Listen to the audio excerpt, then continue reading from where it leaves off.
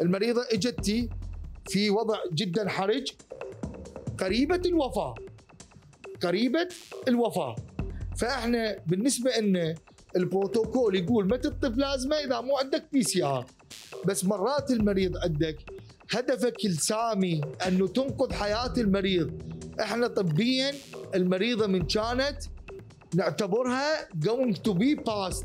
ده تموت دكتور المشرف والاختصاص بعد ما ناقش الحالة ويا أهل المريضة وأخذ موافقتهم ووجود شهود المرضى اللي بصف المريضة المريضة كانت جدا تعبانة وده نفقدها.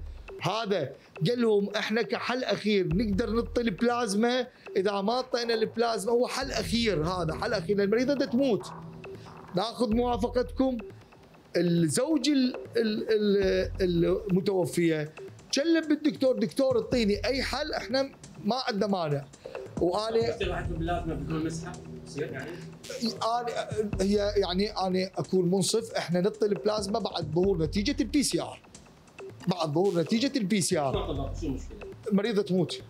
تموت. حالة يعني إحنا إحنا ترى من حرص الكادر من حرص الكادر إنه لا نفقد المريضة، المريضة لو كانت بعلامات حيوية ال stable موجودة لو كانت المريضة بعلامات حيوية يعني مستقرة. وكان ننتظر مثل ما هسه إحنا عندنا مئات منتظرين على سرا البلازما. أنا أفضل هم أسوي لقاء ويا الطبيب المباشر اللي أمر بإعطاء البلازما. وهذا المو... اللي اللي صار مع المريضة المتوفية. يعني. ابدا لأنها يعني أخذنا ال consent مال المريض. ما اعطيناه بدون موافقته.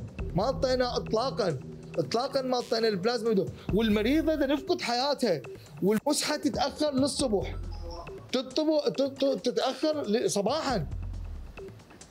يعني يعني أما عملية إنه إعطاء البلازما والبلازما هي اللي سبت الوفاة فحقيقة هذا الشيء يعني كلجنة علمية في مدينة مرجان إحنا شكلنا لجنة علمية بهذا الأمر الإداري لمتابعة الموضوع وكان القرار من الطبيب الاختصاص كإنقاذ لحياة مريض هو فاقدي إحنا.